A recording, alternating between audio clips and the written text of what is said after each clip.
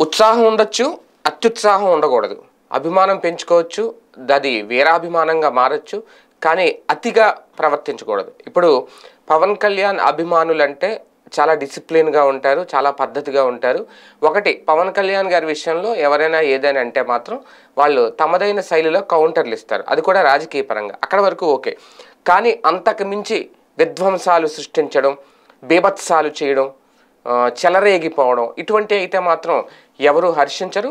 తాజాగా విజయవాడలో ఒక థియేటర్లో జరిగిన సంఘటన ఇప్పుడు. తాజాగా ఒక రకంగా పవన్ కళ్యాణ్ అభిమానులే నిజంగా ఇది చేశారు అని అనుకుంటే నిజంగా అది పవన్ కళ్యాణ్ గారికే చెడ్డ పేరు తీసుకొచ్చేలాగా వాళ్ళ అభిమానులు ప్రవర్తించారా? దాదాపు ఒక థియేటర్లో తొలి ప్రేమ రీ రిలీజ్ మళ్ళీ రెండోసారి రిలీజ్ చేసిన నేపథ్యంలో సెకండ్ షోలో అర్ధరాత్రి ఆ తెరను చించేయడం బీభత్సం సృష్టించడం. దాదాపు ఆ, వీరాభిమానం అనుకోవాలో లేదంటే అతి అత్యుత్సాహ అభిమానం అనుకోవాలో దాని ఖరీదు నాలుగు లక్షలు. ఇప్పుడు ఆ థియేటర్ యాజమాన్యం చెబుతుంది నాలుగు లక్షలు లాస్ అన్నమాట.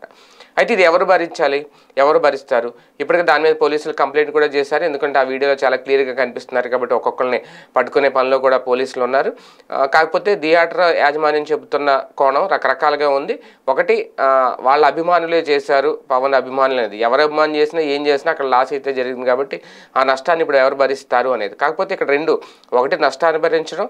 రెండోది తమ హీరోకి చెడ్డ పేరు తీసుకు రావడం దండలు వేయచ్చు పూజలు చేయొచ్చు లేదంటే విజిల్స్ వేసుకోవచ్చు. రచరచ అవన్నీ చేస్తారు? అవన్నీ కామనే? కాకపోతే ఒక అడుగు ముందుకేసేసి మొత్తాన్ని తెరచించేసి ఇంకా అక్కడ అడ్డంగా కూర్చొని ఇంకా తెరలు చించేసిన తర్వాత ఇంకెందుకు సినిమా చూడడం?